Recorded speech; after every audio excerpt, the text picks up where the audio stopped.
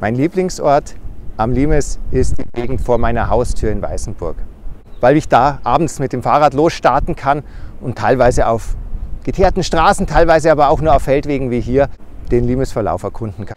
Hier sind wir genau am Fuß oder mittendrin im Juraaufschwung und weil der Limes ja in seiner Ausbauphase am Schluss eine Steinmauer war, eine ein Meter dicke Steinmauer, die heute noch in diesem Boden drin steckt, deswegen sehen wir den Limes hier immer noch als Kante. Das obere Feld ist im Römischen Reich.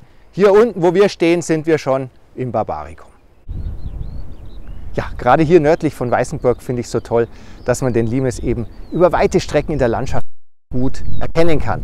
Das ist auch einer der Gründe, warum ihn die UNESCO in die Welterbeliste eingetragen hat. Und er zieht sich gerade hier oben bei Burg Salach auf dem Hochplateau des Jura, zieht er sich über Kilometer lang gerade durchs Land. Und an manchen Stellen sieht man auch, wenn gerade nur Gras wächst, dass wirklich der Schutz der Limesmauer hier noch quer durch die Landschaft zieht. Am Ende unseres Spaziergangs sind wir jetzt im Burgus in der Harlach, ein wenig südlich vom Limes. Das war ein Kleinkastell und das Besondere ist, dass bautypisch die Parallelen nur in Nordafrika vorkommen. Das zeigt, dass die Römer einfach äh, über große Regionen agiert haben und es zeigt auch wunderbar, dass wir Teil eines großen Ganzen sind hier.